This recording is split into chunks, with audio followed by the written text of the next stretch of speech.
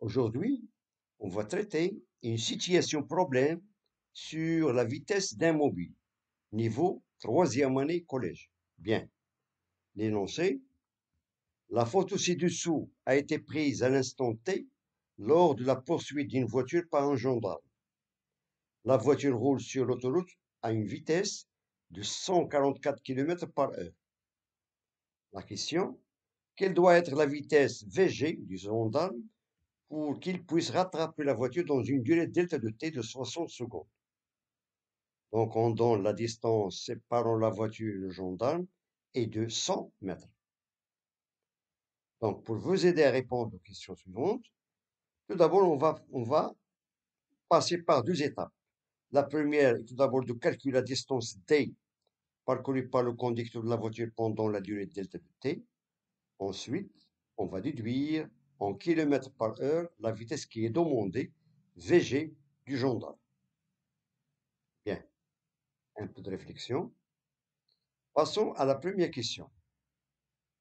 Calculer la distance D parcourue par le conducteur de la voiture pendant la durée delta de t. C'est-à-dire, on va passer par la première étape pour répondre à la question de cette situation. On demande de calculer la distance D qui est parcouru par le conducteur de la voiture, sachant que la voiture roule sur l'autoroute à une vitesse de 144 km par heure durant 60 secondes. Voilà. Un peu de réflexion. Bien. Donc, la distance D parcourue par la voiture, on applique la relation suivante. On sait que l'expression de la vitesse, c'est le rapport entre la distance parcourue sur la durée du parcours. Bien. D'où on tire cette distance, donc D est égal à V fois delta de T. Ensuite, on passe à l'application numérique pour calculer cette durée.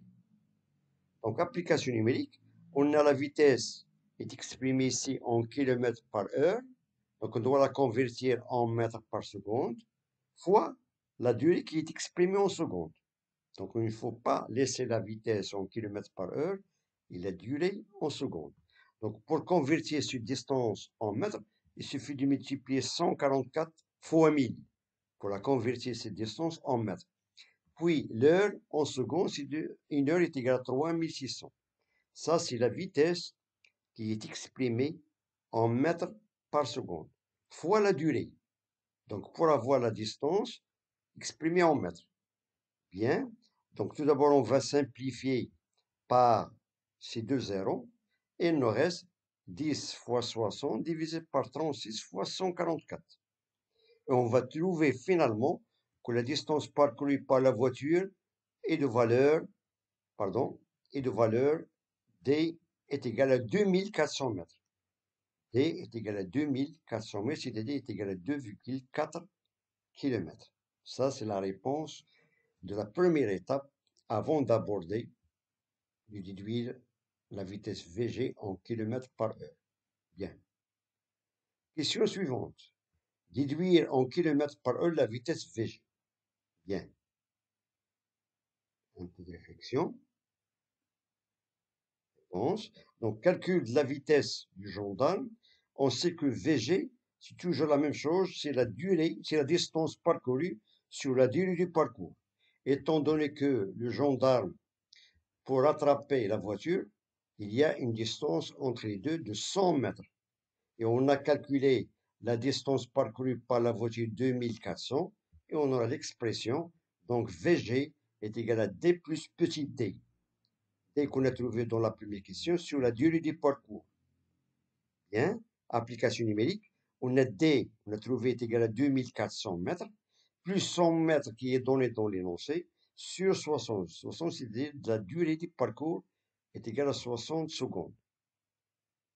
Et on trouve finalement que la vitesse, que la vitesse bien sûr qui est parcourue par le gendarme est de 150 km par heure.